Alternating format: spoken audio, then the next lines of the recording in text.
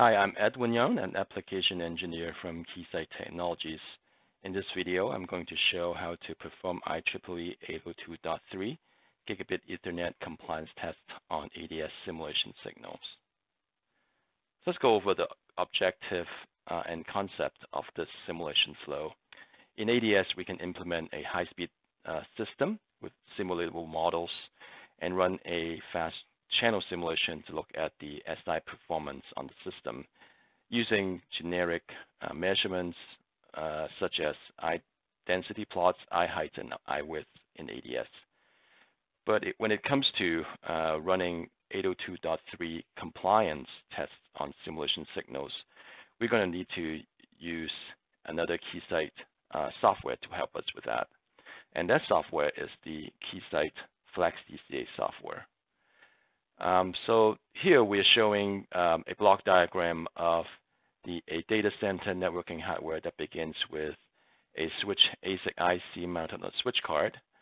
And the high-speed signal starts from here, goes to the goes from the switch card to the backplane to the line card, and then all the way to the end of the channel uh, at the end of the uh, optical transceiver over here.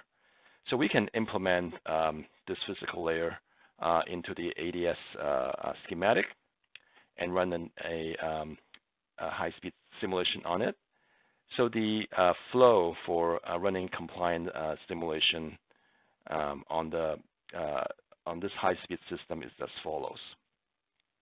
Once the channel simulation is done um, on this system, uh, we can take one of the simulated signal uh, in the system and send it into the Flex DCA software. And once the signal is in the uh, Flex DCA software, we can bring up the uh, compliance uh, test application software from the Flex DCA. We can set up the test, the type of test that we want on the simulation signal and run the test uh, right on the um, uh, compliance test software once the test is done, we can get all the test results from the compliance uh, test window. So this is the, the flow in running a compliance uh, simulation on ADS simulation signal. Before I demonstrate the flow in ADS and FlexDCA, let's go over um, the software packages that we need to uh, have uh, in our system. First, we're going to need a copy of the Keysight ADS software, version uh, 2020 or newer. However, um, it is the latest uh, version uh, that we recommend uh, to be used for this simulation flow. And then you're going to need a copy of the uh, Keysight Flex DCA software, the N1010A Flex DCA sampling scope software, and the um, N1010 100A R&D package. And here's the link to download the software and acquire an evaluation license uh, for the N1010A, N1010-100A R&D package. And then finally, you're going to need at least one of these uh, Keysight compliant test software. And depending on uh, which uh, uh, standard that you're working on, uh, you, you can download the right test software for it. So I'm here, I'm listed um, three of the a test software, one for 3BJ, one for 3BS, and one for 3CK. And you can um, download all of these packages uh, from this link um, in our uh, one of our, our Keysight uh, webpage.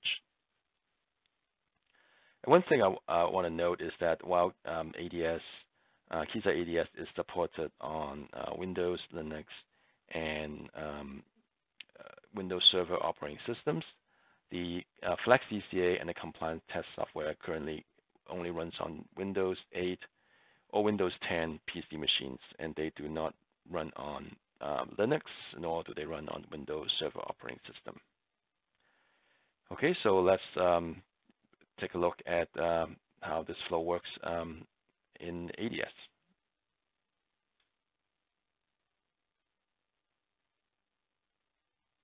So here I have uh, schematic for a high-speed system um, with the, the, transmitter on this side, the channel, and the receiver.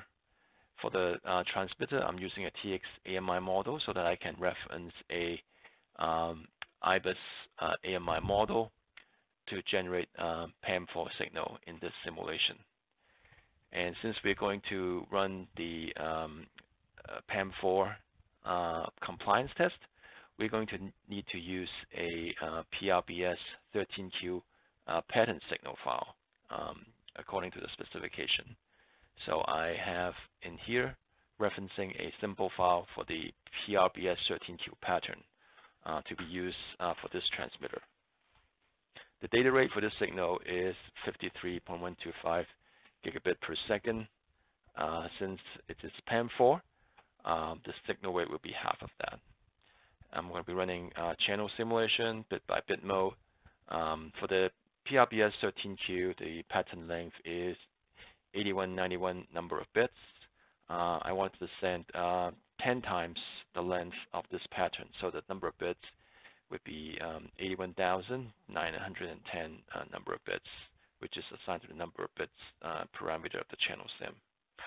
Um, one key component to enable this compliance simulation flow is this Flex DCA probe. You can see that you know it is connected uh, into the channel at this location so that the positive negative uh, waveform uh, will be collected at this node and sent to the uh, Flex DCA. If we open up the uh, component window here, uh, there's only one channel, and the channel signal is uh, sent to uh, slot number five, and this is a requirement to run the compliance uh, simulation. So you have to send the signal, uh, the differential signal, into uh, slot number five. And that's really all you needed to do.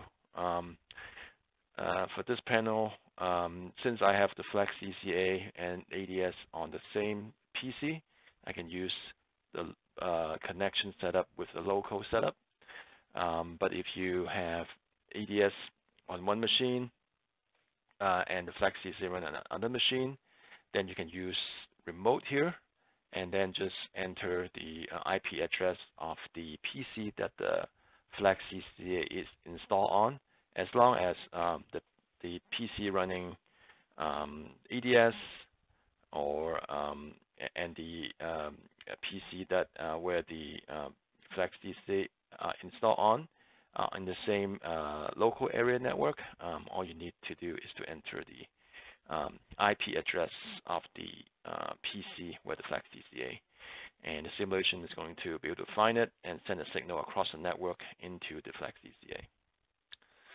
All right, so I'm ready to uh, run the simulation here.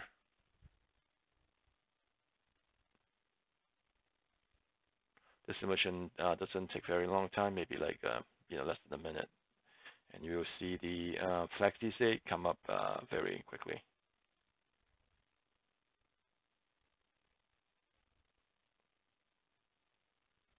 You can see that the signal is being sent to the uh, Flex DCA, and what we are seeing here is the uh, Flex DCA um, uh, panel. And what we are showing now is the PAM4 signal um, displaying on the Flex DCA screen actually right now we, we are actually seeing three signals uh, displayed. Uh, the 5A, 5B, which is the positive and negative uh, signal uh, for the uh, signal from ADS, and then the differential signal for, for that um, pair. So for the uh, compliance test, we really don't need to use these two, so we'll just you know, disable the visibility and leaving just the differential signal on here. And it's always a good idea to come and check um, where the signal is coming from. And if you click on here, it shows that it's loading from a file, and this is a file name, and that's exactly um, you know the file um, that I have set up uh, for the uh, in the ADS Flex DCA probe. And um, you also notice the uh, when you send a signal from ADS to the Flex DCA, uh, additional jitter and random noise is added to the signal. So you can actually come into here and turn them off if you don't want to have any additional noise jitter added. Do this for both uh, positive, negative. Close this up, and then clear the signal, run it again. Make sure to um, take into account the um, the changes that I made on the jitter and noise. And another good practice is always to make sure that you get pattern lock uh, to make sure that uh, the Flex DCA is able to um, recognize the uh, PRBS 13Q channel. So system, the pattern is locked, it 191 UI for the um, pattern length, which is what we expected. So now we can uh, go ahead and bring up the compliance software to run the compliance test. So I'll come to the apps menu, um, automated test app, and just choose one of the three.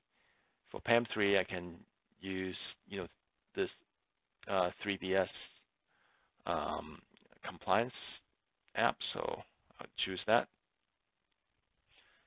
Just wait for that to uh, come up. And you can see that you know this is the um, control panel for the uh, compliance uh, software for the 802.3 BS uh, compliance. And at the same time, you see that this under remote control is uh, showing up on the Flex DCA. So meaning that you know once this is open, um, the uh, Flex DCA will be under the control of the um, uh, compliance app, uh, which is normal as the compliance app uses the Flex DCA to do its measurement. Okay, so um, let's take a look at the um, 3BS compliance window. Uh, this is where we can choose different standard. So making sure that you have the right signal type, PAM4, and over here we can choose the type of test that we wanted to do. I'm going to do J4U, uh, some um, waveform measurements, and then uh, making sure that the uh, signal rate is correct. Um, so uh, this is again half of the bit rate in ADS. Um, so this is correct. And also we want to make sure that the run simulation signal parameter is set to yes because we are running the saved uh, signal uh, from ADS simulation. After that, uh, we just need to um, check here to suppress all the connection prompts and run the test from here or run test from here. So you see that the uh, test has just begun and you see some you know flashes of the screen behind it uh, showing that the um, the Flexi is, is being driven by the compliance app to run the simulation to run the uh, compliance app. So at this time I will you know pause the um, recording and okay after after about a, a couple of minutes um, I'm back into the uh, compliance window uh, looking at the results tab and you can see that we have completed four tests in total. And you can click through them um, to see some details about the, uh, some of these tests. And uh, you can also uh, click on this HTML report. Um, this is a uh, nice report showing um, the results of the test and have some screen capture uh, from the Flex DCA panel. So once this is done, um, you can minimize this window and if you get back to the Flex DCA, you can always click on this local button so that you, um, uh, again, have the control back of the Flex DCA panel. Um, so the example I just uh, created, yeah, you can download a copy of that uh, ADS workspace in the Knowledge Center. So you can just log into the Knowledge Center using this um, URL and uh, do a search uh, with the strain 802.3 compliance and you can click on this result um, to uh, download a copy of the ADS uh, workspace. All right, if you have any questions about this video, uh, feel free to contact myself. Um, then here is my um, contact information. Uh, thanks for watching. Thank you.